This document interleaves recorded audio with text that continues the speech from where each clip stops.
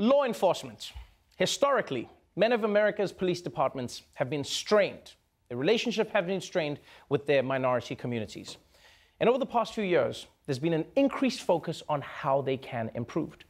You know, some people think that body cameras are the answer. Uh, some say America needs more diverse police forces. Personally, I think all police should have to always ride Segways. Yeah.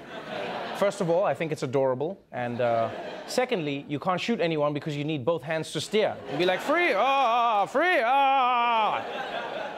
now, just this weekend, presidential candidate Pete Buttigieg, he had to leave the campaign trail to deal with a police shooting in his own city, where many residents have blamed racism for how the police treat black people in their own town. But the sad truth is that this is a nationwide problem. In fact, recently, the Plain View Project did a review of the social media posts of police officers across the country, and the findings are already making waves. This morning, the Philadelphia Police Department under fire. 72 of the city's police officers taken off the streets and placed on administrative duty under investigation for allegedly posting offensive and racist statements on social media. The Facebook posts in question contained discriminatory opinions.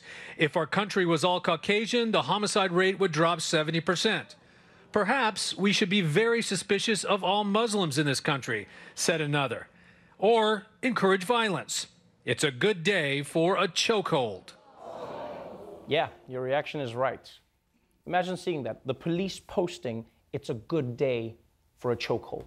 It's never a good day for a chokehold. All right, chokeholds don't belong in your workplace. In fact, chokeholds don't belong in any workplace. Like there's no, unless maybe you, if you work at the Cheesecake Factory, maybe then. yeah. No, after someone's had like a slice of cake with 5,000 grams of sugar, that's the only way to calm them down. It's like, sir, please, please, please, please. I know it's tasty. Calm down. Shh. But this study, this study wasn't just focused on Philadelphia, right? This report reviewed the social media of police officers in eight cities and county, counties, right? And they found, they found in all of these eight cities that out of the 3,500 cops accounts, 853 had posted, posted uh, offensive content. Imagine that, 853 had posted offensive content. Yeah, that's almost a quarter of all of the accounts. And they're just the dumb cops, the ones who put it online. Yeah, because you know the smart cops, the racist ones, they keep it in their DMs. so police departments everywhere are realizing that they could have racist cops. And while it is encouraging that cities like Philadelphia are taking them off the streets, the bad news is elsewhere, they're getting promoted. Controversy in Louisiana, where a police officer who shared a racist image on social media has been promoted to chief. Wayne Welsh made headlines in 2017 when he shared a depiction of a white woman pushing a little girl's face into bathwater, supposedly as punishment for having a crush on a black child. Yeah, what the man? I mean, it's not even just that that's a racist meme. The fact that they made that person, the person who posted that, police chief. How do you post something like that and get a promotion? It's like if someone hijacked a plane and the FAA was like, yeah, you've got talent. You want to fly full time? Come on. and I've, I've got to be honest, like, uh, like, I don't know what's scarier than having a racist police chief. I guess the only thing is realizing that in many places, these officers are just a reflection of their communities. The mayor says the meme is irrelevant now because it was posted nearly two years ago, in July of 2017, when Chief Welsh was assistant police chief.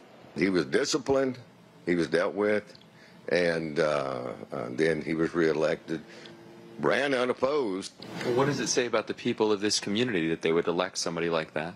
You know, I was not the mayor back at that time.